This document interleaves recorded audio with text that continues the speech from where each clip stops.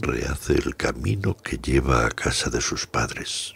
Solo son veinte minutos con el autobús y un cuarto de siglo más en el ascensor donde volverá a leer tantas veces no dejen que los niños viajen solos sin el no. Pensará en los años que han ido transformándola hasta convertirla en receptora del consejo.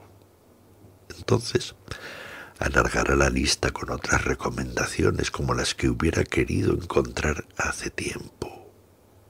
Si todo va bien, piensa, los que ahora son niños borrarán las negaciones. Las niñas, como la pequeña del séptimo que le recuerda a ella, harán presente su ausencia con el trazo persistente de una llave sobre las O. Abrirán puertas. Si todo va bien, viajarán solas.